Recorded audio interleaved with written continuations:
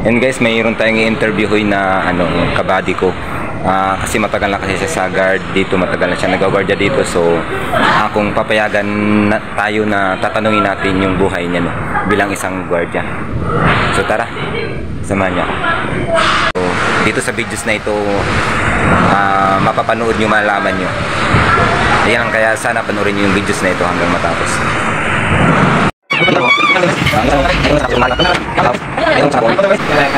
Mga ka-chip vlog, so hindi pa siya ready kung ano yung sasabihin niya. So next next na lang natin muna ah, may isang katanungin muna tayo no. Hello buddy, welcome back again. Nandito naman ako, mangungulit sa'yo. Nandiyan yung takalya natin. Yes po, buddy. Ano ulam natin? Ang ulam natin ay igado.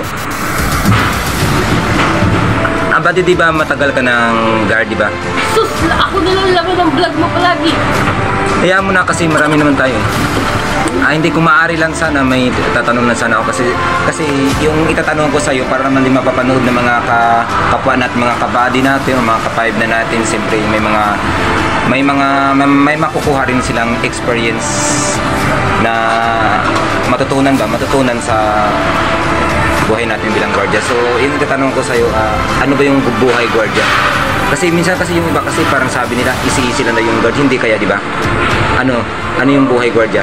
Para sa mga experiences mo na na-experience ko ngayon noon sa Basido. Nakaka-altok. Ano lang, ganun, paupo-upo.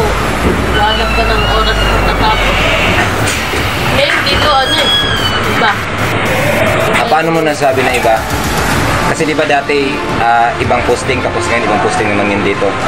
So, bali bali bali ko compare mo yung nakaraang posting mo saka sa ngayon. Ano yung pinaka yung ah, pinaka mahirap na mga ginagawa? Doon talaga sa dati ko, madali lang. Dito ngayon, ngayon, kailangan mo makasama talaga sa madami tao. Sa iba't ibang tao? Dati, iba't ibang tao nakakasalamuha. Tapos, ano, trabaho, hindi basta. So, ah, may tatanong lang po ako ah ah, yung mga, di ba, siyempre, kung paano tayo tatagal sa isang posting. So, ano yung mga strategy mo, yung mga mga ginagawa mo, yung mga strategy mo bilang gwardiya para tatagal sa isang posting. Siyempre, di ba, marami, ta- maraming mga tao rito, iba't ibang mga tao yung nakikilala natin, nakakasalubong natin. So, ano yung mga ah, magagandang gawin para tatagal sa isang posting na para na hindi tayo stress mga ganyang bagay na hindi tayo nagproblema sa pakikisama sa mga iba't ibang tao na nakikita natin nung pumapasok rito. Yun nga, yung mga isama ka lang, ano, ano ka lang, just go with the flow. Wow! Palakpakan naman natin si paring body. Gawin mo lang yung baba, gawin mo lang yung trabaho mo. Ano yung trabaho mo? Kasi eh. May sama ka sa mga tao, sa mga kabato. Nga, go with the flow ka lang.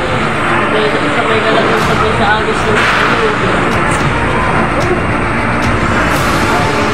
Sige buddy, maraming salamat sa kunting oras mo na ah, alam ko rin na may, na may natutunan na rin ako.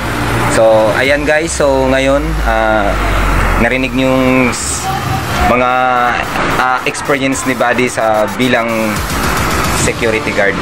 So, di ba? So, yan. So, maraming salamat uli, Buddy.